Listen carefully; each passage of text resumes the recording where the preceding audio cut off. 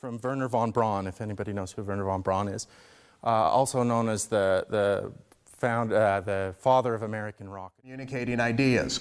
Adam Braun is the founder of a wonderful startup, but uh, a great nonprofit. I'm assuming the one in the Bronx, but Suzanne Braun Levine, you know, talks. Right. She, she has a hysterical. Sex and salary and status. It's all about brains and brawn and beauty. It's all about uh, academics and athletics and appearance.